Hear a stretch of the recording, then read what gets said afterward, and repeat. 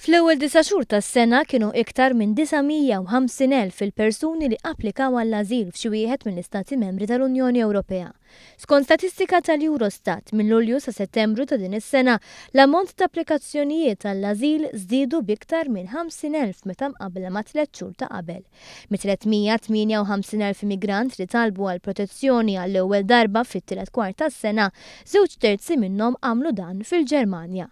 L-Italja u Franza kienu t-tieni u t-tielet l-iktar pajjiżi wara l-Ġermanja li rċivew applikazzjonijiet għall-ażil.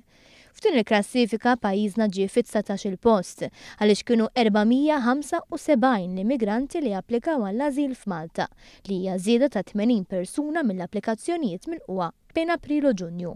Fil-fatt, Malta tilqa' biss 0.1 fil-mija tal-applikazzjonijiet għall-ażil li jidħlu fl-Unjoni Ewropea.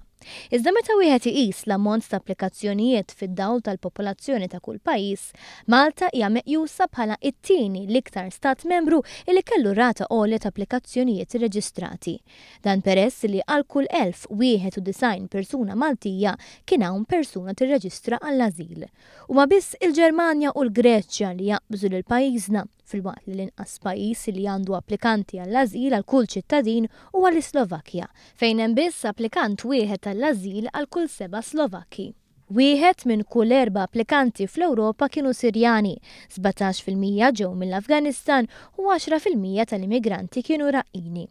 F'Malta, fit-tielet kwart tas-sena, l-iktar tliet pajjiżi li minnhom ġew l-immigranti li applikaw għall-ażil għall-ewwel darba kienu l-Libja, li ammontaw għal 145, l-Eritrea u s-Somalja.